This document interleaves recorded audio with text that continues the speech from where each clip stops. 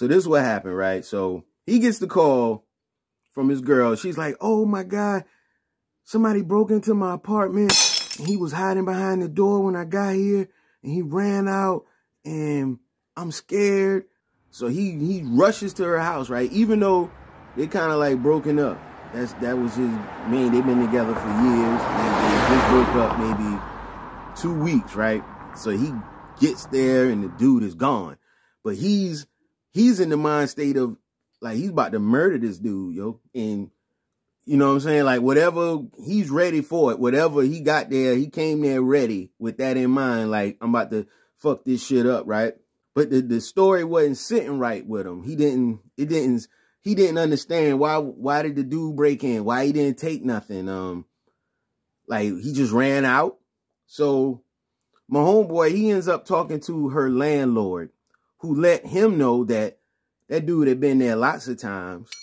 She was talking about putting him on the lease. Wow. That I was just sharing that it was on my mind because domestic violence and um, people being passive aggressive, people do things every day and wonder like, oh, why did he kill me? Or why did this happen? It's because of how you move and how you treat people. And then after a while, it builds up, right? He was very lucky that the dude wasn't there.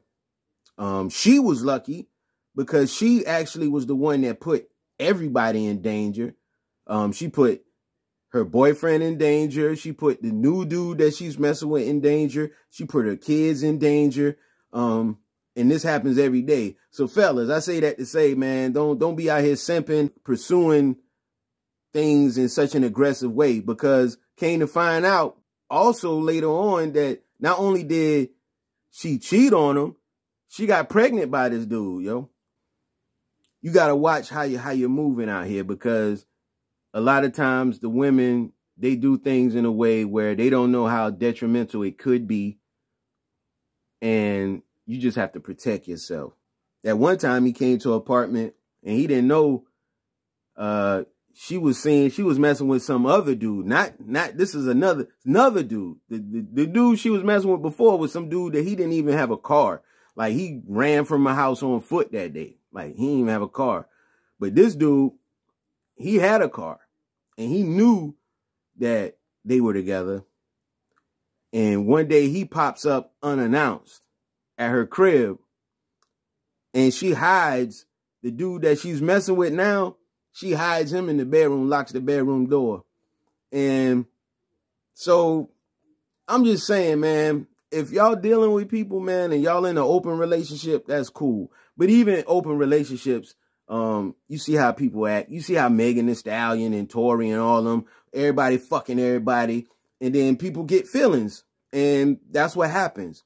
So I just I recommend, you know, don't don't do it.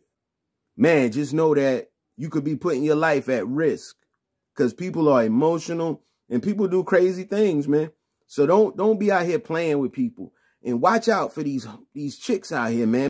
You got to really know what you want out of the relationship. Um, some of these you'll get with somebody and they'll use you for whatever it is, yo. Like your good energy, your money. Um, you can cook, you can fix cars, you can whatever it is, they'll use you, and then when they get to the point to let they they call leveling up or they've outgrown you, then then they move on. But man, y'all be careful out there, yo. That's all I got to say is be careful. He she cheated on him.